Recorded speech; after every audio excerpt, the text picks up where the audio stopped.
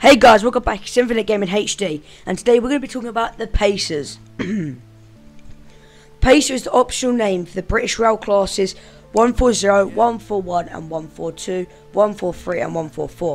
These are multiple unit rail buses built between 1980 and 1987. The rail buses were intended as a short term solution to a shortage of rolling stock with a lifespan of no more than 20 years, but as of 2019, many are still in use. All Pacer trains were scheduled to be retired by the end of 2019. The Rail Vehicle Accessibility Regulations require that all public passenger trains must be accessible to disabled people by 2020. Only one Pacer, the modernised 144E, currently meets this requirement, and the remainder will, therefore, need to be withdrawn by that date unless they receive an extensive refurbishment. Furthermore, a ministerial directive in 2015, the Transport Secretary required that such rail buses be removed from service by 2020 for the new Northern franchise, starting stating that the continued use of these uncomfortable and low quality vehicles is not compatible with our vision for economic growth and prosperity in the North. As of April 2019, 140 units are in service with three operators Northern, Great Western Railway, and Transport for Wales.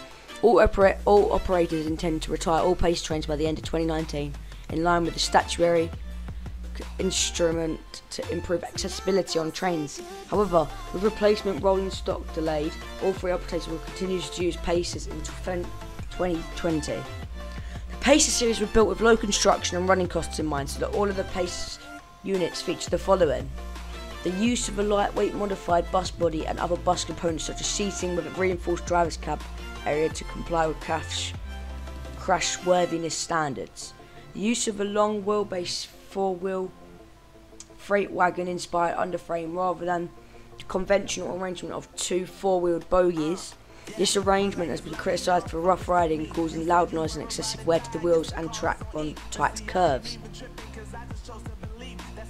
At the beginning of the 1980s, British Rail needed to produce new trains to replace its aging fleet of this first generation diesel multiple units, which had been built between the mid 1950s and early 1960s.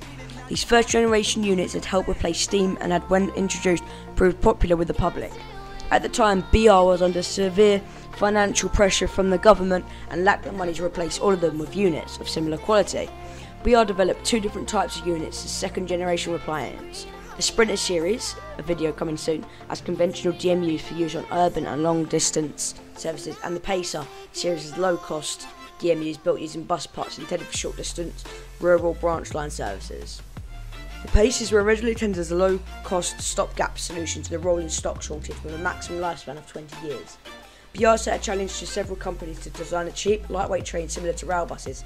Since then, 165 Pacer trains, totally 340 carriages, have been built. By 2015, some of these were over 30 years old. Demonstrator units toured the US, Northern Ireland, Belgium, Sweden, Thailand, Malaysia, and Indonesia without producing cells. However, Iran purchased redundant Class 141 units for use on suburban lines around Tehran until 2005. Pacers have often been criticised for being poor, poor be, being of poor quality instead of the more usual bogies. The Pacers use a four-wheel, basic four-wheel, two-axle configuration, which often result in a ride which is noisier, noisier and less comfortable than other trains. The lack of articulation and result in rough rides, especially over points, and a loud squealing noise around tight curves. The lack of bogies also result in a mo- more basic suspension, which can result in a bumpier ride. This is given to the nickname nodding donkeys, owing to the train's up and down motion on the uneven track. The basic bench seating can also be uncomfortable. The early units, especially the Class 141s, were also especially unreliable. The fact that Pacers have only been used in certain areas in North and South West England and South West Wales, but not London or South England, has also created resentment. Concerns were raised about the safety after the 1999 Winsford crash, which involved the first Northwestern Class 142 pace when its empty stock was run into a Virgin Trains Class 87 Express after it fouled the, main line at Winsford, Cheshire on the West Coast Main Line. The body of the pace was severed on its frame, to which it was attached by wire straps causing severe internal damage. The unit was written off. 27 passengers and crew were injured, four seriously. However, all passengers' injuries were on the other train as the Class 142 was running empty at the time. On the other hand, the Pacers have been praised as a pragmatic solution at a time when budgets were tight and have been credited with saving with saving services on some rural lines which might otherwise have been withdrawn had only more expensive rolling stock been available. They also provided economic to operate, achieving a fuel economy of 10 miles to the gallon.